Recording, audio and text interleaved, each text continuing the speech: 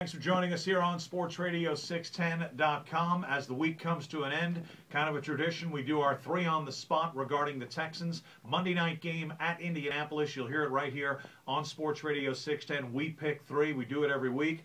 I'll start with Brian Cushing pretty obvious. Moving to a new position at middle linebacker, not only is that going to be a very important thing to keep an eye on and a real key to the Texans defense, but it's his third game back. We all expect to see Brian Cushing kind of start hitting his stride very soon here. I think he is at the top of the list of Texans on the spot this week. Yeah, the guy at the top of my list is the guy who was so good against the Colts in the opening game of the season, Arian Foster. He ran for 231 yards that day. He doesn't have to do that again. But if the Texans want to win this game, they got to keep the ball out of Peyton Manning's hands, and that starts with a good running game. I think it's very likely if they win this game, they're going to win a shootout, which means I think the Texans need to be firing on all cylinders offensively, not only running the football, but throwing the football.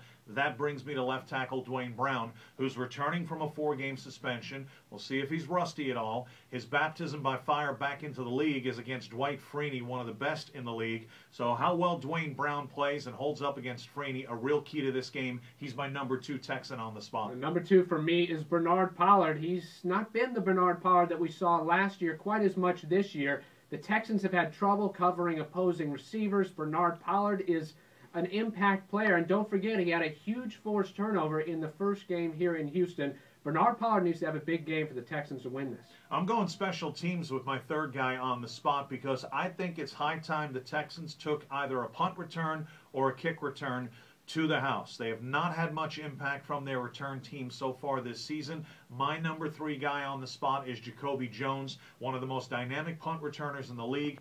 Gary Kubiak has said he's going to get more opportunities to do some kick returning duties as well. I think if Jacoby is at the is on top of his game on, on Monday night, uh, he can make a real difference in this game. And the third player for me, Texan on the spot, is Kareem Jackson. He's been on our list seems like every week. Uh, you're going against Peyton Manning again, Reggie Wayne again. I don't care if Austin Collie and Dallas Clark are out. Kareem Jackson needs to play better if the Texans had any chance of winning this game. Monday afternoon, 4 p.m., the Houston Texans Capital One Bank countdown to kickoff gets our coverage underway. Hope you'll enjoy the game as much as us on Monday night.